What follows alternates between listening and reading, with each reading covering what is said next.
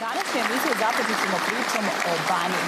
Za nama su danas Miroslav Kovjanić, predsjednik Zavičajnog udruženja Banijaca, potomaka i prijatelja Banije i podpredsjednik Dalibor Jelić. Dobar dan i dobro nam došli.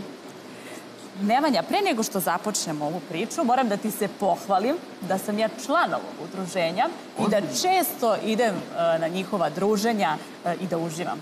Pravi su domaćini, odmah da ti Pa kažem. ništa, onda ja moram da, da ispitam e, gospodina e, e, Dalibora kako ja da postanem vaš član. A pa vrlo jednostavno, morate doći na jedno naše druženje i dobijete na tom druženju člansku kartu koju će uručiti lično Miroslav. Ima neki test da se prođe, položi kod vas. Pa ne bi sad o tome, ali ima. Ima, Naročito za ali muški nije za, za televiziju. Pratimo vas tako da ste već zaslužili, tako da nema problema. E, hvala, Znači, poziv je otvoren hvala vam. sljedeće godine, ali to će Miroslav da priča o tome. Koliko udruženje? Kada, ko, Pa, traje? udruženje postoji od e, 2007. godine. Imamo oko 700 članova, među njima je i Irena, znači 701. E, Od toga imamo od 300 do 350 aktivnih članova. Imamo recimo preko 10.000 e, pratilaca na društvenim mrežama. Imamo oko 30.000 mesečno posetilaca e, na našem sajtu očuvanje, znači od ciljeva možemo reći zašto je naše udruženje i postalo, odnosno nastalo, jeste to što ovaj, imamo osnovnu ulogu očuvanja tradicije kulture našeg naroda na Baniji i prenos e, na mlađe generacije to naše znanje što smo mi stekli od naših predaka. Osim tradicije i kulture, E, moram naglasiti da imamo i sportske aktivnosti gdje možemo da kažemo da su tu zastupljene neke discipline u, tradicionalne sportske discipline u smislu bacanje kamena sa ramena, e, zatezanje kanapa, e, skok u dalj i tako dalje. E, Ne samo na našem području Banije, nego Like i Korduna i Dalmacije. Tako da mi, kad god je neko druženje, poznati smo po tome recimo što imamo banijski višeboj i onda apsolutno a, inzistiramo na tim sportskim disciplinama i ljudi se fino druže i zabavljaju se. Od podpredsjednika smo želeli da čujemo nešto više o samom udruženju. Jer bi to bilo sjajno ovako da predstavimo i svim našim gledalcima koji možda ne znaju baš sve informacije. A od predsjednika ćemo da čujemo nešto više o aktivnostima. E, dobar dan. Pre svega želim se da vas pozdravim i zahvalim što ste nas pozvali u ovu vašu divnu emisiju. Kakve Da. su vaše aktivnosti bile tokom meseca septembra? Pa evo reći ću vam prvu stvar koja je bila, to je e, odlazak naše delegacije na Baniju, gdje smo posjetili sva mesta i prošli sav taj deo gdje je, da kažem, stradao, nažalost stradao naš narod u koloni e, i na svim tim mestima, znači, položili smo cveće i zapalili sveće.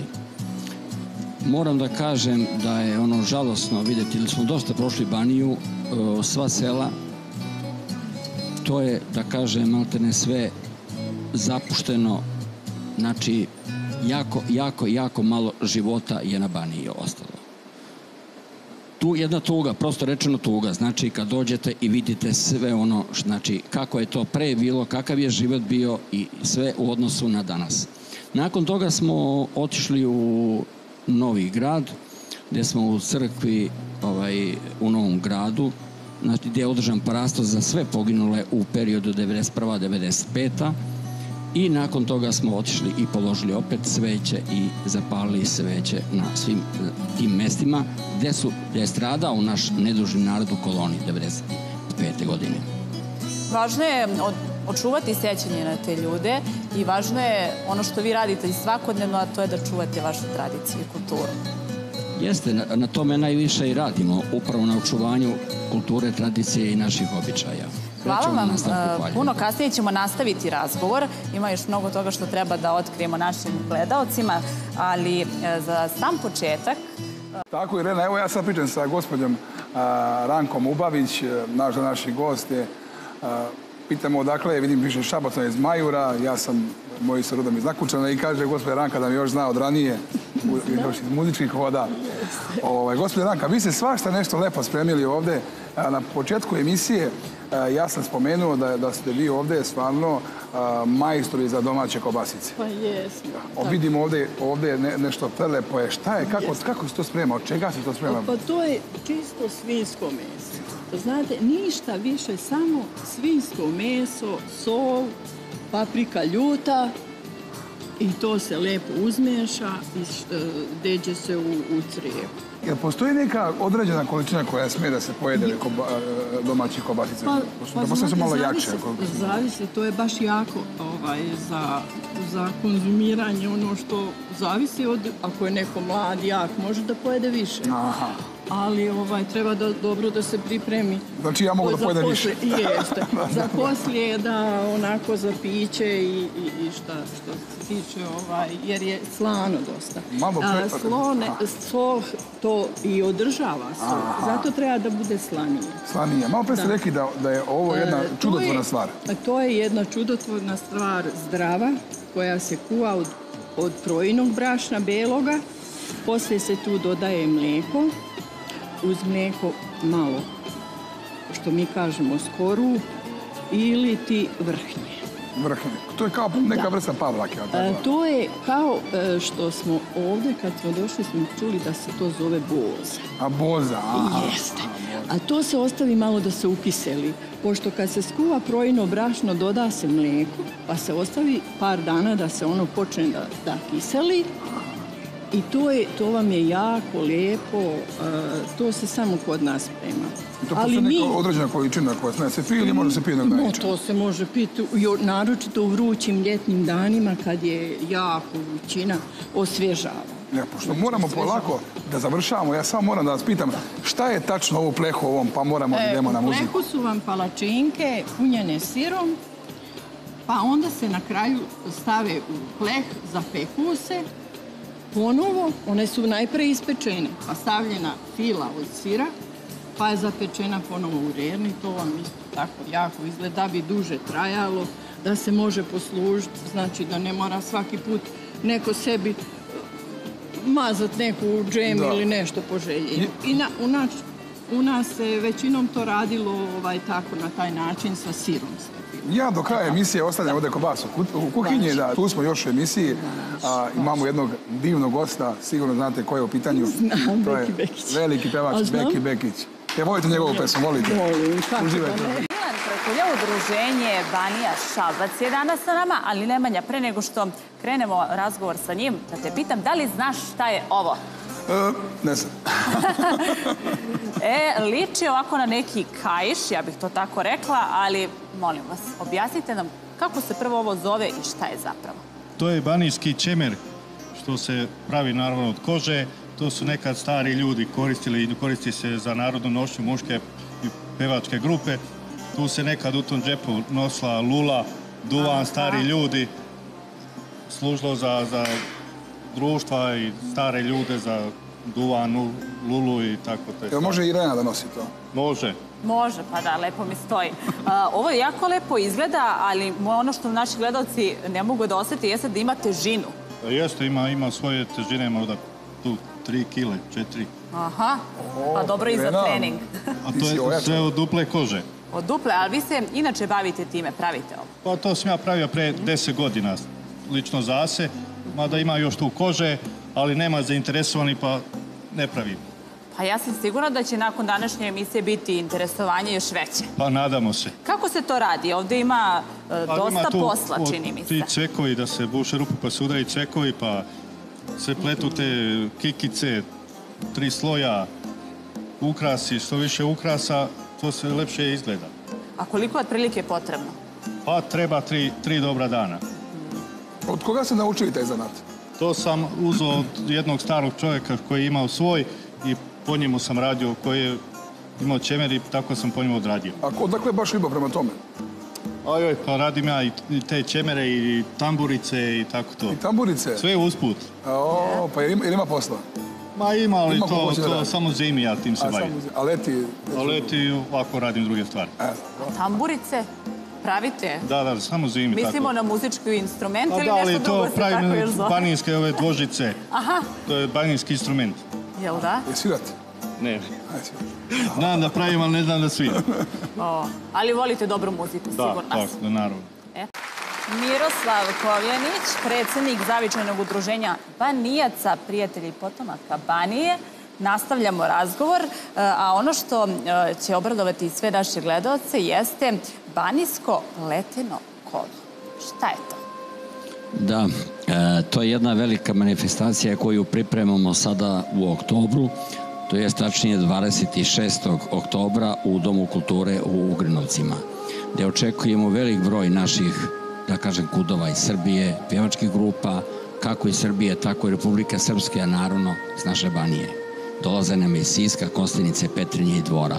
Znači, svi i kudovi i grupe muške i ženske pjevačke grupe. Tako da je to jedna velika manifestacija, da kažem, to je šesta po redu, šesto po redu Baninsko pleteno kolo koje održavamo i mislim da je zaista vredi doći i po ovim putem pozivam sve zainteresovane, sve krajišnike, sve ljude dobre volje, znači da dođu, da vide i da uživaju to veče sa nama zajedno. Uživat će u sjajnoj muzici, atmosferi, druženju. Možda će upoznati nekoga novog. To uvek ima kod vas. Naravno toga, uvek ima i bit će. Jer mi smo takav narod veseo i otvoren za sve. Potpredsjedniče, malo prije kad smo pričali, ja sam, izvinjavam se, prekinuo, ali sad slobodno, ono što ćete da kažete, slobodno recite. A, morao sam da zapisujem koliko sve aktivnosti imamo do kraja godine, i početkom sljedeće godine. Znači imamo već pomenuto ovaj banijsko pleteno kolo gdje će biti oko 400 učesnika. Onda učestvovanje ženske pevačke grupe na festivalu Krajiški biseri u Plandištu. E, imat ćemo e, izbornu skupštinu, onda delenje e, novogodišnjih paketića za decu sa Banije. I naravno ovaj, imat ćemo iduće godine sajam zavičaja u Novom Sadu pod pokroviteljstvom Fonda za izbjegla i raseljena lica na čelu sa Aleksandrom Đedovcem. E, imamo još jedan plan, mislim da ćemo da uspemo, a to je osnivanje kluba privrednika Banije.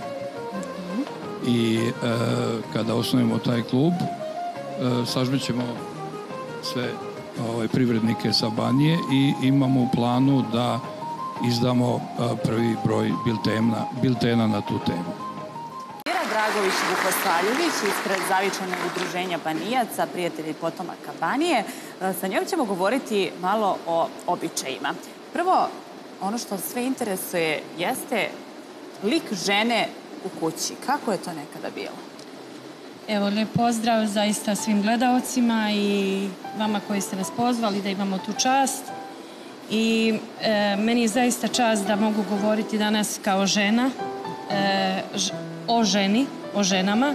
Prvenstveno kako je to bilo nekada, kako se žena poštovala, jer možemo reći da je to jedna živa tvornica života koja ako nema dobro potomstva nema ni vojnika, nema popa, nema učenika, inženjera, tako da žena je bila e, taj stup kuće dok su muškarci radili po rudnicima, orali, kopali, naravno i žena je isto tako, ali je više bila okrenuta tom vaspitanju djece, e, kući i tako dalje.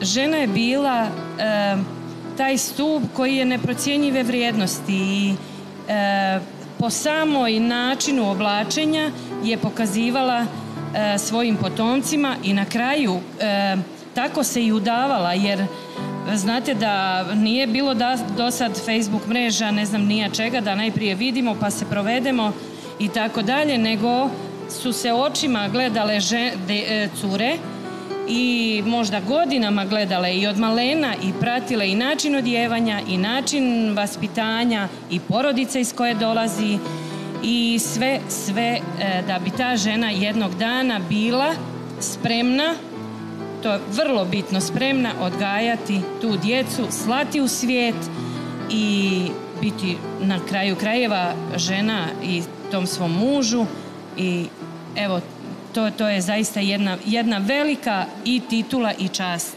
jedne žene.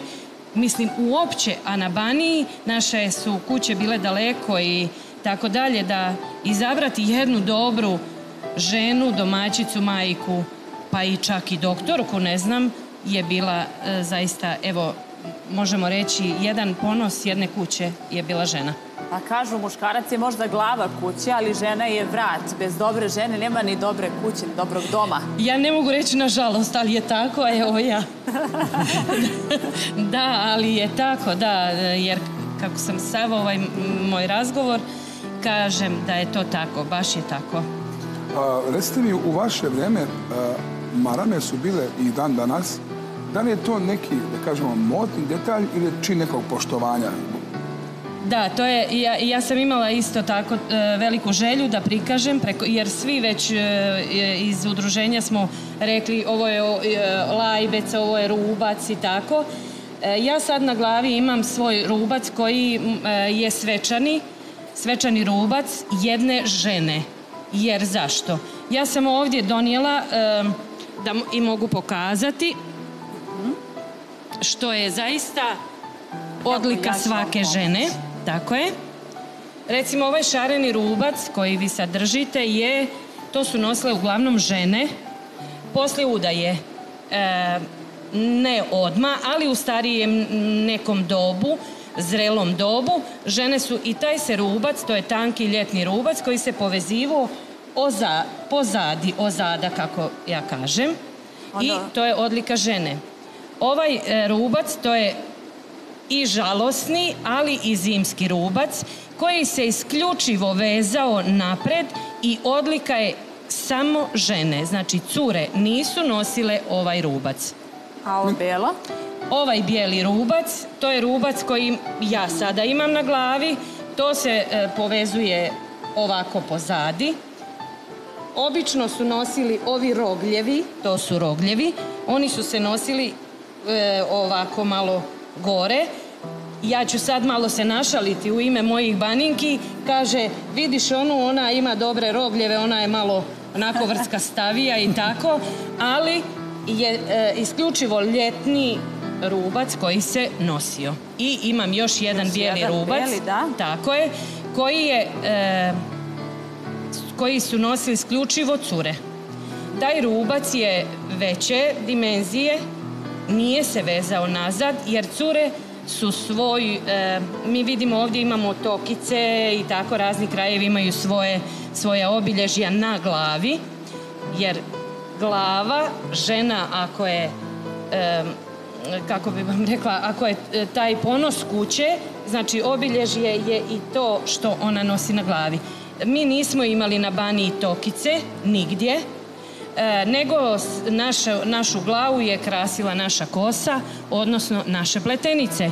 To su naše cure vezale i one su imale pravo nositi raspuštenu kosu koja je pratila ova marama koja nije bila povezana pozadi nego e, napred sa jednim blagim preklopom sa šnalicama napred. Hvala I to vam je na svim obilježje. informacijama, jako interesantna priča.